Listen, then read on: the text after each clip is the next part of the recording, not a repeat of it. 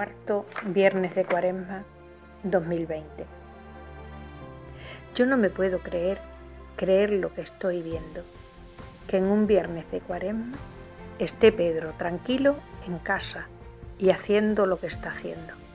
Sería día de capilla. Qué pena, hoy no está abierto. No podemos ir a verte ni depositar el beso en ese tu pie bendito, en ese tu pie izquierdo. Cuántas cosas han cambiado, se han quedado en el intento. Todo estaba preparado para estos días previos. Costaleros, costaleras, mantillas y nazarenos con ilusión esperaban traslados, acontecimientos. ¿Cómo decorar tu paso? ¿Cómo decorar el templo para esos días grandes de tu triduo nazareno? ¿Cómo vestir a tu madre? ¿Pondremos esto o aquello? ¿Qué manto y qué mantilla? ¿Qué rosario? ¿Qué pañuelo? Todo, todo se ha quedado paralizado en un momento. No tendremos procesión. Solo nos queda el recuerdo de tantos años pasados. También de los venideros porque vendrán otras cuaresmas cuando menos lo esperemos. Diez meses pronto se pasan para empezar los arreglos para otra Semana Santa. Vamos, que estamos a tiempo de renovar ilusiones porque la ilusión no ha muerto.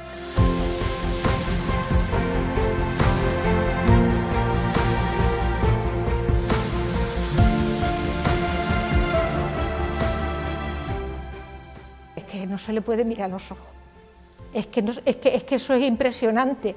O sea, es algo Jesús traspasa.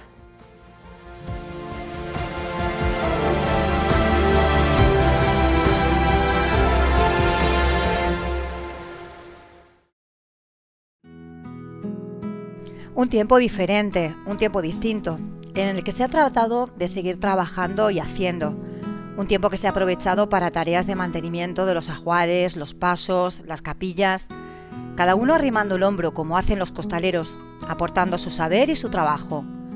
Todos, al unísono, con la ilusión del mañana y la vista puesta en un futuro que ahora más que nunca estamos deseosos de que llegue.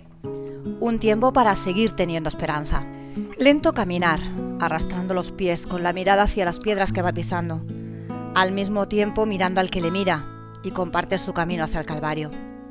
Y como siempre, desde el principio del principio su madre le acompaña. Lo hace hasta el final que sabe que está próximo y que no va a poder evitar. Eso es un sentimiento que se lleva por dentro, no, no sé cómo explicarlo, no se puede explicar. Es que te llama y tú tienes que ir y, ya está.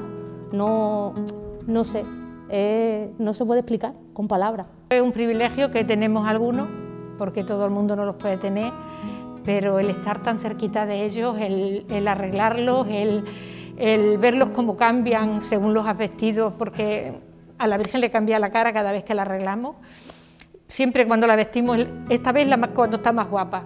O sea, es algo que, que no se puede explicar, eso no se puede explicar, esos sentimientos, de verdad que no. Muy emocionante, las emociones están a flor de piel, casi todo el camino por lo menos para mí. Yo mm, algunas veces estar en silencio y llevar el paso en silencio sin que los demás compañeros no hablen, eso es precioso. Aguantando y diciéndole al nazareno, vamos para adelante, vamos para adelante, y no te rindes nunca, ya puede pesar lo que pese. Llegaba el hombro, llegaba a casa, tenías que preparar un poco para el otro día salir con las mismas fuerzas que había entrado al diente. Se hace, se hace duro, porque es verdad que nos tiramos todo un año pensando en esa única semana, muchos sentimientos y sin tener metas, sin tener proyectos que poder hacer, se hace muy pesado.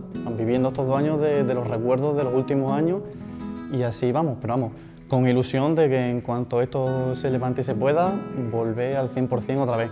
Los sentimientos no se pueden evitar, en muchas ocasiones son difíciles de explicar pero una mirada, un gesto o una lágrima que se desliza por la mejilla o se emborronan los ojos lo dicen todo. Jesús, mm, si le miras muy de cerca, te, te, traspasa.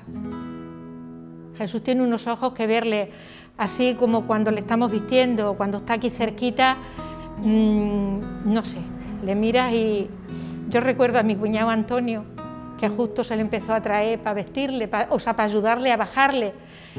Y él le había visto pues toda su vida, ¿no? En procesión. Y la primera vez que le, vio abajo, porque le ayudó a bajarle de la hornacina, dice, es que no se le puede mirar los ojos. Es que, es que, es que eso es impresionante. O sea, es algo Jesús traspasa. Eh, yo cuando tenía dos añitos y medio o tres tuve un percance con una comida que era una sandía y me traía una pipa. Se me fue por un conducto que no era y a mis padres los dijeron que no tenía salvación. En aquel momento no había remedio porque no había los adelantos que hay hoy, ¿no? Y mi abuela, pues venía, yo creo que vendría todos los días a rezar este nazareno, salva a mi niño, salva a mi niño, y la haré nazareno hasta que él quiera. Y a partir de ahí, para mí no es ninguna cosa, para mí es un milagro. Aquí estoy todavía, y mi abuela, la pobre, iba todos los años hasta que pudo, desde la puerta del ayuntamiento, de rodillas hasta el altar por su nieto. No sé qué explicarte, este que está aquí atrás, para mí, le tengo en mi cabecera, le tengo en el comedor, le tengo en todos sitios. Es una cosa muy grande, ¿eh? Eh, para mí es muy grande. Para mí hay muchas emociones en, en otro sentido, aquí en la, capilla, incluso fuera, pero normalmente yo me emociono con cualquier cosa. Y para mí, ya te digo que es un conjunto. Como te he dicho antes, la salida de aquí, el preparar el paso, todo, incluso nos tiramos horas y horas ahí preparando el paso, que se hace, preparar para el tapiza esto, tapizar esto, lo otro, todo en un conjunto de emociones que no se pueden explicar. En estos últimos meses, uno de los sentimientos que más presente ha estado en las eh, personas que forman parte de hermandades y cofradías ha sido la tristeza, de la incredulidad inicial a la tristeza y después a la esperanza y con el deseo de que en un futuro inmediato todo pueda volver a ser. Nos quedamos todos eh, fríos de una forma tan, tan espontánea porque teníamos capilla abierta, fue un viernes cuando dijeron que se cerraba todo, los ensayos ya empezados, se habían hecho una, semana o dos de ensayo y nos quedamos como, es que no sabíamos qué, qué, estaba pasando. Y se pasó la, la Semana Santa, pues como se pasó fatal, fatal, porque estaba todo, todo organizado para, para, esos días grandes nuestros, que son los días de todas las hermandades, ¿no? Esperando ya que llegue el próximo año y empezar de nuevo, hacer algo nuevo y cambiar cosas para que al año siguiente sea aún mejor. Con tristeza, porque en el fondo son muchos días, muchas horas, convivencias con las demás costaleras, con la gente de la hermandad, y bueno, pues son son vivencias que este año no vamos a tener, el pasado tampoco. Significa mm, una cosa muy importante, que te falta algo, falta hacer un trabajo que estás deseando de hacerle, de que llegue el momento, aunque en esta hermandad el momento es todo el año, aquí trabajamos todo el año, pero esos días que crees que no puedes salir, no, no sería, bueno, es que no sabría cómo explicártelo porque son muy difíciles de, de decirlo. Si no lo vives no sabes lo que se siente. Y el sentimiento es el que acompaña en todos estos momentos, el que hace dar el paso y querer participar, formar parte de esa hermandad, ser uno más de esa gran familia y estar para todo. Nosotros, mi hermano fue el primero que, que entró en la banda de pequeñito, pequeñito, porque él lo único que quería cuando salían las procesiones a la calle era ver al hombre de lila. Y era la única que quería ver. Entonces, pues como que nos arrastró un poco a todos y, nada, pues hasta hoy. Nervios, emoción, el cosquilleo en el estómago que no se te quita nunca, por más que pasen los años. Siempre me había llamado la atención mucho la Semana Santa, yo la veía desde, desde la calle, pero a raíz de un amigo entré con los costaleros. Y es, viendo un año costalero, siempre me había llamado mucho la atención la música, pero con el tema del deporte, los estudios, nunca había dado el paso de, de acercarme y demás, pero a raíz de otros buenos amigos que me comentaron lo de la banda, apúntate, y así empecé, llevo siete años ya en ella. Tanto costaleros como costaleras, porque yo trato mucho con los dos, eh, dicen que no saben lo que tienen los varales, pero que una vez que te le pones aquí es difícil de no volverte a entrar. Ha habido quien por una promesa, como tú comentas, eh, ha dicho quiero este año y tal, y bueno, pues sí, pero es que luego eso, eso, yo lo que sienten ahí debajo no lo sé porque yo no he sido nunca costalera, pero algo sienten, algo sienten porque te engancha. Pertenecer a una hermandad, para mí creo que no es ponerse el hábito los dos días de procesión y salir. Entonces, si, decides ser hermano de Jesús, en este caso, y de la Virgen, eh, tienes que cambiar un poquito tu mente y, ser hermano de Jesús y, sentirte hijo de la, Virgen te tiene que llevar a otras cosas. Y en cuanto tú te inicias en esa, en esa vía, mm, ya está, ya está.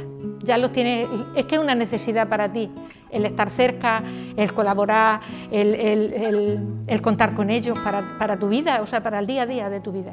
Y entonces hay, ahora ya va habiendo mucha juventud para esto. Entonces, mm, más o menos las personas que vamos ya siendo más mayor, igual que me ha pasado a mí, he ido dando el paso a la gente, hemos formado un capataz nuevo, mm, hay muchos chavales jóvenes de costaleros y gente que no puede entrar porque no hay sitio. Y, se enfadan, ¿y con quién se enfadan? Se enfadan con el capataz. ¿Por qué no entro? ¿Por qué esto? ¿Por qué yo puedo agarrar? Y capataz ahí es donde aguanta la marea y ahí es donde tienes que saber torear a esa gente nueva que quiere entrar. Ahora, el que entra no, ya no se va, ya no puede irse. Y es buenísimo de que tú tengas 15 o 20 o 30 costaleros que quieran entrar y no puedan. Buenísimo, es buenísimo. Los capoteas un poco, hablando un poco, y claro, lo van comprendiendo, ¿no? Hay otros costaleros que a lo mejor dejan de entrar a un chaval un ratito que le agarre, pero es que el que, el que agarrado es que no quiere soltar. Es que no quiere, no puede, no es capaz. Y a lo mejor le dice, mira, este chaval está estudiando, déjalo un ratito, y le deja, pero le deja de una manera rara. Estar en unión con los demás, cerca de las imágenes, el recorrido procesional, momentos que son especiales y únicos, tantos y tan únicos como cada una de las personas que lo viven con el nexo común de las emociones que están a flor de piel. Un privilegio para unos pocos y que difícilmente se puede describir. Algo que solo se puede entender desde el sentimiento más profundo. Yo trabajo respecto a lo que me toca a mí, como carpintero que soy, pues prácticamente a colaborar en todo. Se han hecho reformas en el paso, se han hecho muchas cosas, se han hecho las andas nuevas, se han hecho varias cosas que yo sin compromiso ninguno, sin compromiso ninguno, pues los bancos también se han preparado, son una serie de cosas que, la, ha hecho con ilusión, con amor, con cariño, para la hermandad, ¿no? Porque somos una familia y todo lo que se haga por ella está bien. Nada que se necesita, donde sea, tanto con el ayuntamiento, con otras hermandades, con nuestra propia por supuesto, y con cosas nuestras que nos vamos inventando para estar todo el año ocupados. Como actividad caritativa, obviamente la operación Carretilla, el ayudar a los más necesitados pues siempre es muy gratificante. En cualquier actividad puedes encontrar gente de la banda, familiares, pero gente que no es de la banda, que simplemente son amigos que invitamos o que simplemente ellos se acercan, necesitáis una mano, aquí estamos y se hace, se hace muy bien y muy agradable contar con muchísima gente en todas las actividades. A mí el salir de aquí este Nazareno, que está eso lleno de gente, que se cree que se va a caer, porque cuando no va para acá, va para allá, porque es muy difícil, es un momento muy impresionante. Luego, difícil en el recorrido, pues el problema que teníamos difícil en el recorrido es la esquina de la calle de la Carrera cuando llegamos allí arriba, cuando empalmamos los, los, los varales que son impresionantes de largo y ahí había, había que haber tenido un buen maestro para haber cogido esa curva bien como yo le tuve. Y llegábamos ahí perfectamente. Cuando llegaba al ayuntamiento, ya te lo he contado, me, acuerdo de mi abuela muchísimo, porque a mi abuela la conocí yo yendo de rodillas, hasta que la pobre ya, tuvo, ya no pudo más. Y otro momento, pues, es el paralelo que hacemos con la vida. Eso ya es no sabría cómo explicarte ese momento porque es que no lo sabes. Son nervios, es una cosa que parece que no anda, que en el trocito ese que hacemos somos capaces de echar 10 minutos si queremos, es muy bonito.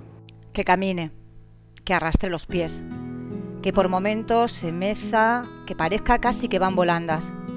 Eso es lo que consiguen los costaleros. Ellos se convierten en uno, abriéndose camino, camino hacia la cruz. Gente se nota y, demás, pero lo que el mayor apoyo son las compañeras, en el fondo, que son las que están ahí a tu lado, venga, vamos arriba, que ya nos queda poco, que esto lo tenemos que hacer bien, que... y son las palabras de ánimo de las propias compañeras y de, de la capataz también, que quieras que no, están siempre con nosotros para todo. Además que eso se ensaya todos los días de ensayo, eh, se ensaya y si sale mal se ensaya varias veces, hasta que no sale, eh, hasta que no nos sale bien eh, intentamos, pero luego no sé, parece que, ellos ponen las manos porque el día de la procesión siempre, siempre se queda precioso. Mm, darlo todo se da durante todo el recorrido. Sí, es verdad que, son dos días grandes, pero el miércoles es más especial si, si, cabe porque es el primero. Todo el año pensando en el miércoles. El, primer minuto, la primera marcha ya es especial. A partir de ahí todo el sentimiento hace que, que vaya a rodar. Muchos puntos que me, me saltan las lágrimas. Cuando el, en, San Francisco, entra en San Francisco, pues también igualmente cuando sale, en, la pasadera, en Jueves Santo, Jueves Santo, pues igualmente. Toca la música, una, una música maravillosa, a mí me gusta mucho y me emociono muchas veces. Y ver la gente que va pasando con el, con el paso y se están emocionando, incluso llorando. Sí, hombre, la verdad es que cuando sales de la calle del polvo, que llegas aquí al trozo este de, de las pasaderas, que si no está el pueblo le falta poco, pues es un momento de concentración muy grande que yo creo que no hay que decirlo a los costaleros nada. Ellos saben dónde van a llegar, lo que hay allí y lo que tienen que hacer. Aunque vengan a lo mejor por la calle un poco más despistados o menos, cuando llegan allí que se concentran al 100%. No hace falta que los digan nada. Saben perfectamente dónde están llegando y lo que tienen que hacer ahí en ese momento, que es muy bonito, claro.